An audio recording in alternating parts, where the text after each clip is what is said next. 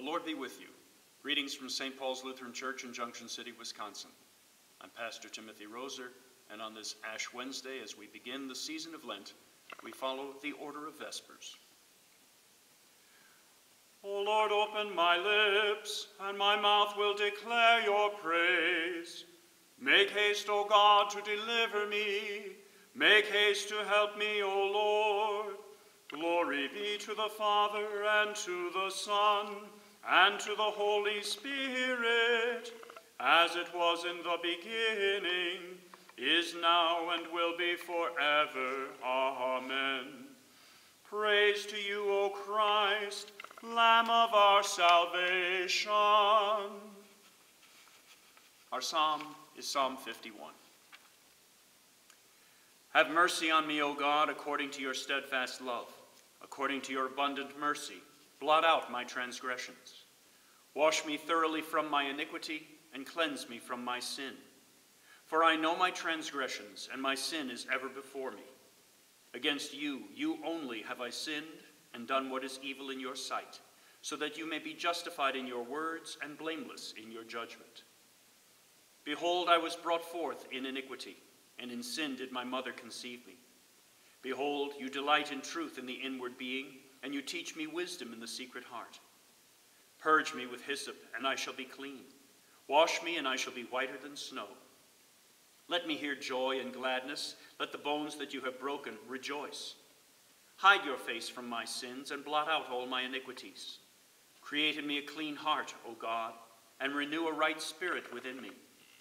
Cast me not away from your presence, and take not your Holy Spirit from me. Restore to me the joy of your salvation, and uphold me with a willing spirit. Then I will teach transgressors your ways, and sinners will return to you. Deliver me from blood guiltiness, O God, O God of my salvation, and my tongue will sing aloud of your righteousness. O Lord, open my lips, and my mouth will declare your praise. For you will not delight in sacrifice, or I would give it. You will not be pleased with a burnt offering. The sacrifices of God are a broken spirit, a broken and contrite heart, O God, you will not despise. Do good to Zion in your good pleasure. Build up the walls of Jerusalem. Then will you delight in right sacrifices, in burnt offerings and whole burnt offerings. Then bulls will be offered on your altar. Glory be to the Father, and to the Son, and to the Holy Spirit, as it was in the beginning, is now, and will be forever. Amen. Our office hymn is number 607 in Lutheran Service Book, From Depths of Woe, I Cry to Thee. From depths of woe I cry to thee in trial and tribulation. Bend down thy gracious ear to me, Lord, hear my supplication. If thou rememberest every sin, who then could heaven ever win, or stand before thy presence? Thy love and grace alone avail to blot out my transgression. The best and holiest deeds must fail to break sin's dread oppression. Before thee none can boasting stand, but all must fear thy strict demand, and live alone by mercy. Therefore my hope is in the Lord, and not in mine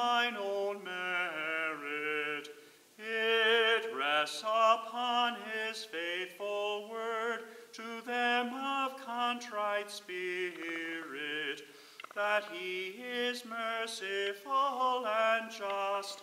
This is my comfort and my trust. His help I wait with patience. And though it tarry through the night until the morning waken, my heart shall never doubt his might, nor count itself forsaken. O Israel, trust in God your Lord,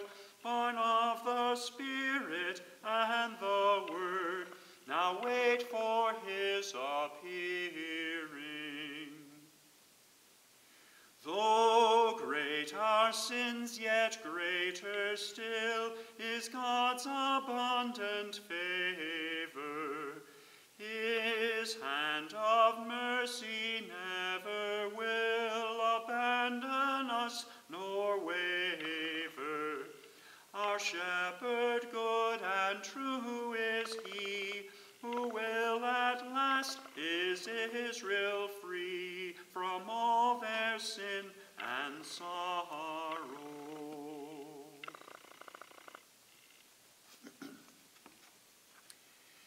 Old Testament reading for Ash Wednesday is from the book of the prophet Joel, chapter 2.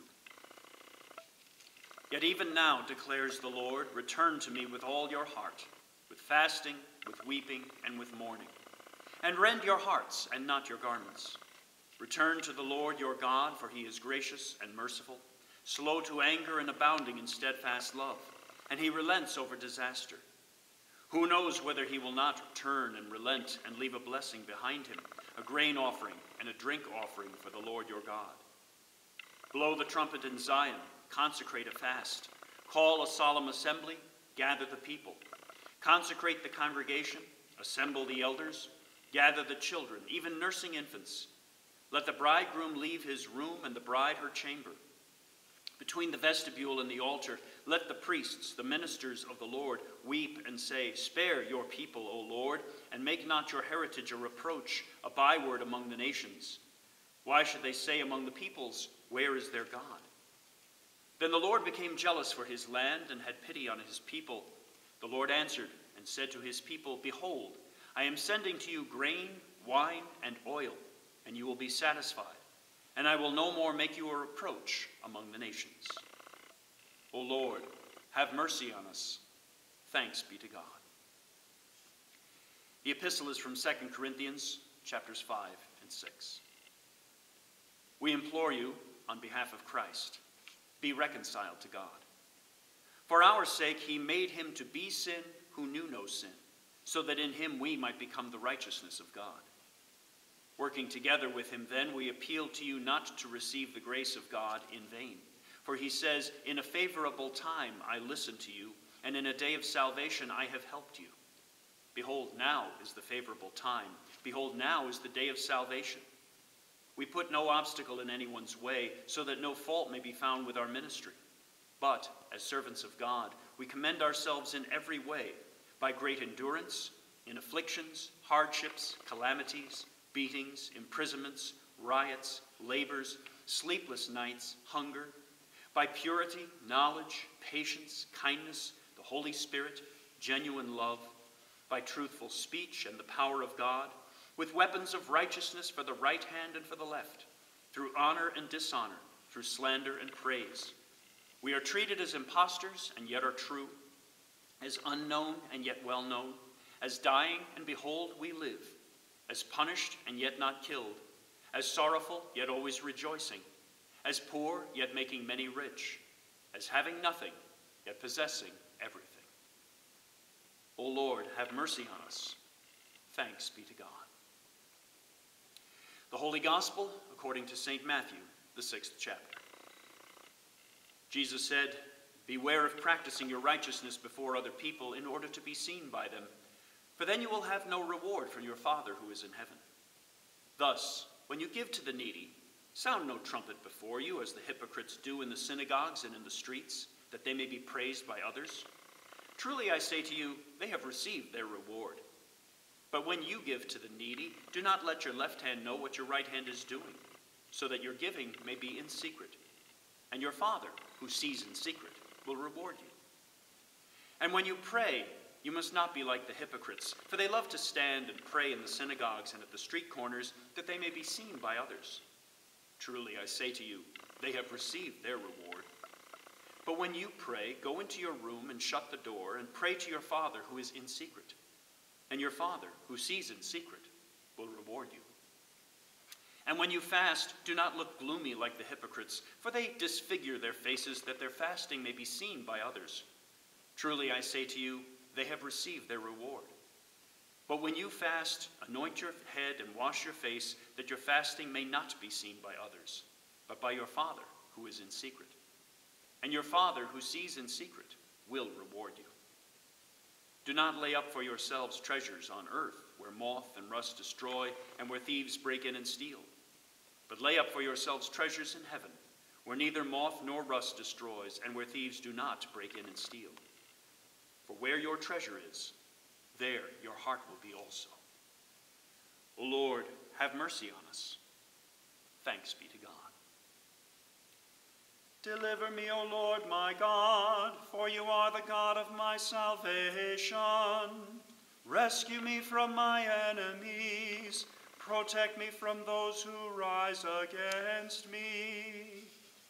In you, O Lord, do I put my trust. Leave me not, O Lord my God.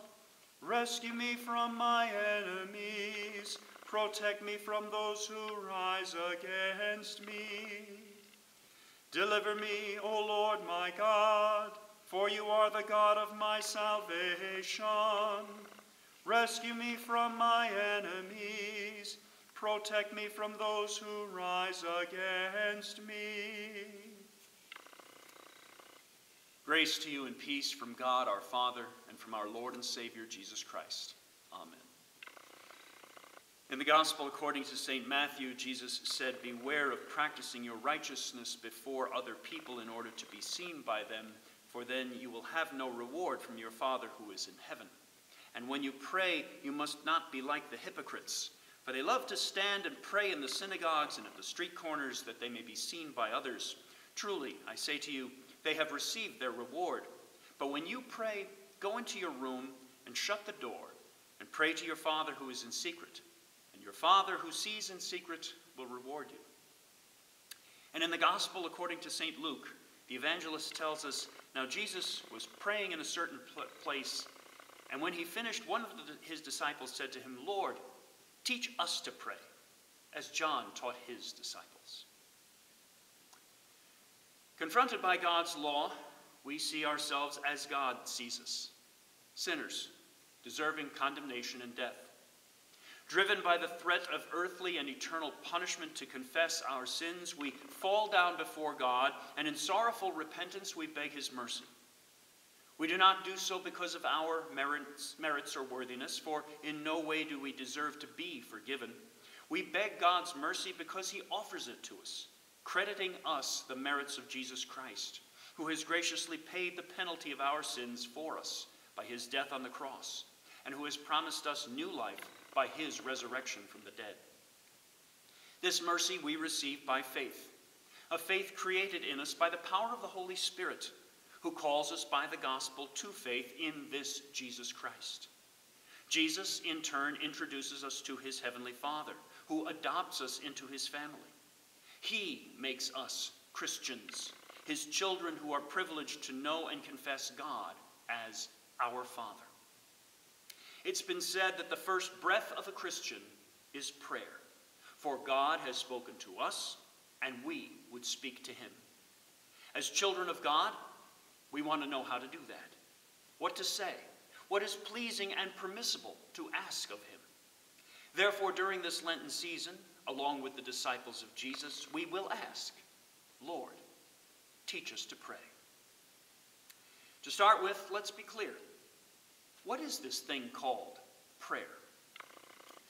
Prayer is not some form of mystical meditation whereby we empty our minds and wait for some spiritual force to fill it or some voice to whisper messages to us. Nor is prayer a magical incantation in which the right words will summon supernatural powers that we can manipulate or command. Prayer is also not a holy wishing well or a divine vending machine where we put in the proper type of spiritual coin and request, a, and, and pop, out pops the answer we want. Our explanations to Luther's small catechism have defined prayer quite simply and directly. Prayer is speaking to God in words and thoughts. please note that's speaking to God, not with God. Prayer is not a two way conversation. God speaks to us in His Word. We speak to God in our prayers. God expects us to pray. Why? Well, first of all, because prayer isn't optional. He has commanded us to pray. As the scripture says in Psalm 105, Oh, give thanks to the Lord, call upon his name, make known his deeds among the peoples. And again in Psalm 50, Call upon me in the day of trouble, I will deliver you, and you shall glorify me. And as Paul wrote in 1 Thessalonians 5, Pray without ceasing, give thanks in all circumstances, for this is the will of God in Christ Jesus for you. And again in 1 Timothy 2, Paul writes, I desire then that in every place the men should pray, lifting holy hands without anger or quarreling. God has not only commanded us to pray, he has also promised to hear our prayers. Jesus said in Matthew 21, And whatever you ask in prayer, you will receive if you have faith. And again in John 16, Jesus said, Until now you have asked nothing in my name. Ask and you will receive, that your joy may be full. And St. James writes in chapter 1, verse 5 If any of you lacks wisdom, let him ask God, who gives generously to all without reproach, and it will be given him. So we have the command God, of God to pray and his promise that he will hear and answer us. Think of that. The creator of the universe has commanded you to talk to him. More than that, he has promised that he is listening and will hear and answer your prayers. We can approach him with confidence, confessing our sins, asking him for what we need, thanking him for his gifts, even bringing him our complaints, just as dear children can talk to their dear Father here on earth. Yet we so often ignore God's command and disregard God's promise. We just don't pray. Why not? Perhaps it's because we don't take this gift of God as seriously as we should. Martin Luther once wrote, But where there is to be a true prayer, there must be seriousness. People must feel their distress, and such distress presses them and compels them to call and cry out. Then prayer will be made willingly as it ought to be. People will need no teaching about how to prepare for it and to reach the proper devotion. I think we feel our distresses easily enough. The pains and sufferings of this life are all around us. But I think the world has trained us to make prayer our last resort instead of the first response to the events of our lives, whether they be good or bad. What if we were to reorder our lives just a bit? Let me put it this way when something good happens to you, who is the first person you contact? Do you tell your husband or wife? Tell your kids or a friend? Post it on social media? Why not tell God first? Yes, He already knows, but did you remember to say thank you to Him? And when something goes wrong in your life, who hears about it first? Again, before you go to anyone else, why not talk to God? Ask for help for yourself or for someone else. You don't have to tell him how you think he's supposed to answer your request. Just bring him the problem.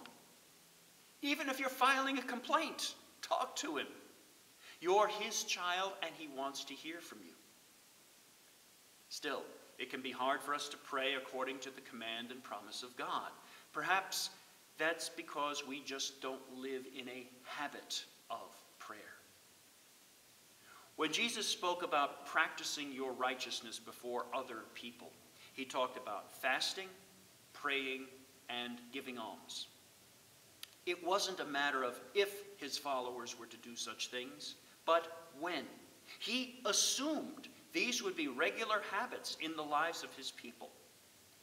So Jesus said, when you pray, when you pray, go to, into your room and shut the door and pray to your Father who is in secret, and your Father who sees in secret will reward you. Our prayers are not intended for public display. You don't have to drop to your knees and show off how pious and holy you think you are. Most of the time, unless you're joining with fellow believers, these are private conversations with God. Now, personally, I'm a big fan of praying out loud whenever I can. That makes me put real words to my prayers, not just vague thoughts or emotions. I articulate what I'm saying to God so I know what so I know what I said. That's for my sake, not his. It also means I need a private space to do that. A place either to go outside or to shut the door and be alone. That said, our prayers don't have to be polished pieces of prose. Plain, simple words spoken from the heart whether in the privacy of a closed room or the privacy of our own minds, spoken to our Father. That is how we should pray. Yes, we can use the resources of prayers written by others, prayers recorded in the Bible, the hymnal, and in prayer books and other devotional writings can often help us find ways to express the things on our minds that we would like to bring before God. And when we cannot find the words, we have God's promise through the Apostle Paul in Romans 8, verse 26. Likewise, the Holy Spirit helps us in our weakness. For we do not know what to pray for as we ought, but the Spirit Himself intercedes for us with groanings too deep for words. So form the habit of speaking to God, and God Himself will help you find the words you need to fill in the blanks. Indeed, that was what Jesus himself did when his disciples came to him and said, Lord, teach us to pray as John taught his disciples. Jesus gave them words, not simply words to repeat, but words to serve as a pattern, an example, a blueprint, a guide for their prayers and ours. As we turn to Him this Lent and ask, Lord, teach us to pray, we will explore that model prayer He gave them, the Lord's Prayer. We'll also consider other examples of prayers during this holy season so that we learn not only a text, but learn to pray in this way, as our Savior has taught us and continues to teach us to pray. In the name of Jesus, Amen The peace of God, which passes all understanding, will guard our hearts and our minds in Christ Jesus. Amen. Let my prayer rise before you as incense, and the lifting up of my hands as the evening sacrifice. My soul magnifies the Lord and my spirit rejoices in God my Saviour, for he has regarded the lowliness of his handmaiden. For behold, from this day all generations will call me blessed. For the Mighty One has done great things to me, and holy is his name. And his mercy is on those who fear him from generation to generation. He has shown strength with his arm. He has scattered the proud in the imagination of their hearts. He has cast down the mighty from their thrones and has exalted the lowly. He has filled the hungry with good things, and the rich he has sent empty away. He has helped his servant Israel in remembrance of his mercy, as he spoke to our fathers to Abraham and to his seed forever. Glory be to the Father and to the Son and to the Holy Spirit, as it was in the beginning, is now, and will be forever.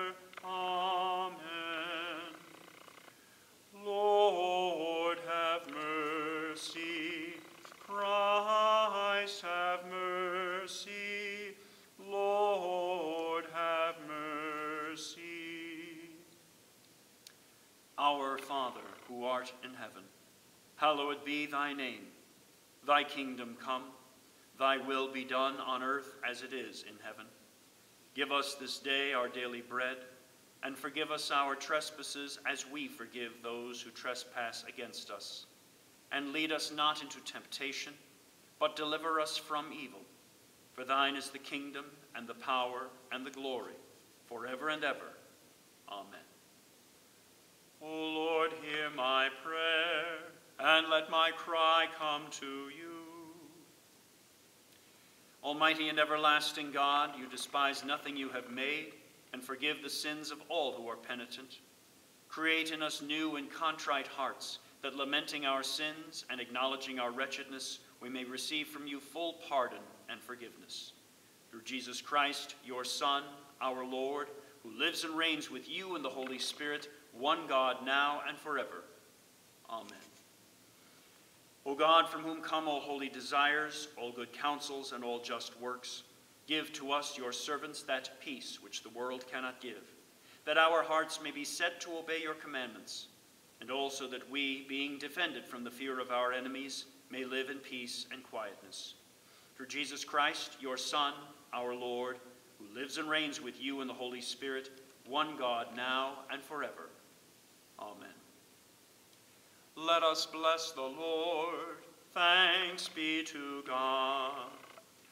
The grace of our Lord Jesus Christ, and the love of God, and the communion of the Holy Spirit be with you all. Amen. The Lord